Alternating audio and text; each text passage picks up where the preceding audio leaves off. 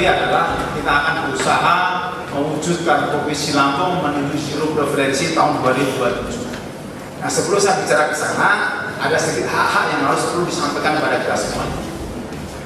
Dalam Undang-Undang Nomor 35 Pak dijelaskan bahwa di pasal 57 penyalahguna adalah korban.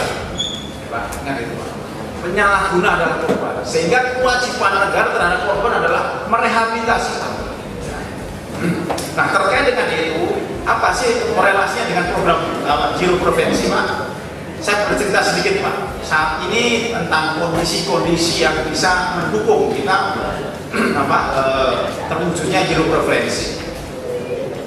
Secara secara regulasi kita sudah mempunyai dasar hukum yang kuat. Satu, Perda Provinsi Lampung tentang P4GN. Kemudian ada keputusan Menteri Kesehatan Pak nomor 701 tahun 2018 yang menginstruksikan dan memerintahkan ada IPWN sekitar 57 IPWN itu institusi penerima wajib lapor atau rumah sakit atau puskesmas yang ditunjuk untuk wajib melakukan kegiatan rehabilitasi. Termasuk di pesawat ada dua. Satu rumah sakit daerah dan yang satu lagi di kurungan nyawa